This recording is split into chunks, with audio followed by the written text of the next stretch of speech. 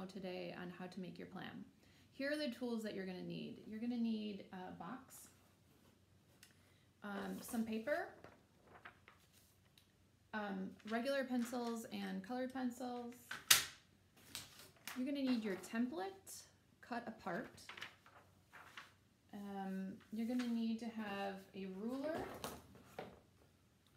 or a straight edge and hopefully a Sharpie marker, a black marker, a black colored pencil, um, anything like that will work fine. The first thing you're gonna do is you're gonna turn your box over on your paper and with a pencil, you're going to trace around it. Your box might not be perfectly straight, especially the corners can get a little bit fuzzy. So that's when you're gonna take your um, ruler and rule out the edges all around to make sure that they're straight. Check that the corners are uh, nice and straight by putting in uh, your ruler and checking for a neat right angle. Um, once you do that, you're gonna get your templates out and figure out how your rooms go. You should um, probably have your plan, um, your original plan posted on the uh, Schoology media page so you can check to see if it's there. If it's not, um, I'm sorry, it may have gotten left at school or your name wasn't on it. The next thing you're going to want to do is put in your doors and put in your windows. Think about where they go. And remember that you want to always have your doors um, go to a wall so that your the door actually isn't sticking out in the middle of the room so that it opens up against a wall.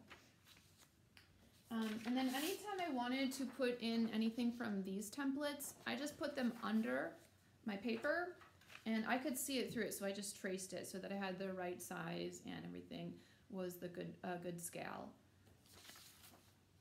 I put in all the details, and once I got um, everything drawn, I labeled things, and then I got my um, color pencils out. And most homes have a pretty neutral palette, so I just used um, brown because a lot of things are made out of wood. So any kind of desks or side tables, um, I, I rendered them brown. Um, I used gray for the kitchen because a lot of um, kitchen surfaces uh, tend to be either stainless steel or gray or white and we want to have a little bit of color so we can see what it is so I uh, used gray.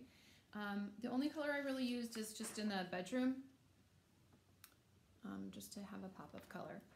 And then one of the things that you guys want to think about is shading. So the way that um, the model plan I sent home looks, you can see that it looks kind of real. And the way that you do that is with the edges of your uh, furniture, you uh, darken it a little bit and then you slowly get lighter as you go into the center. That'll really help it make it make it look real and rendered is what we call it. So give that a shot, okay? And then what you want to do with your black Sharpie marker or a black colored pencil is all the walls, the exterior walls here and the interior walls, which are slightly thinner than the um, exterior walls, they get all colored in black. Now you'll notice I have spaces here where there's nothing. That's because that's a window. So that just gets left like that. And you should have um, windows unless you're the bunker uh, house. Um, every three days you're going to need to post a pic. So hopefully you can finish this um, and post uh, before our next uh, class, which will be in three days, just like in regular school.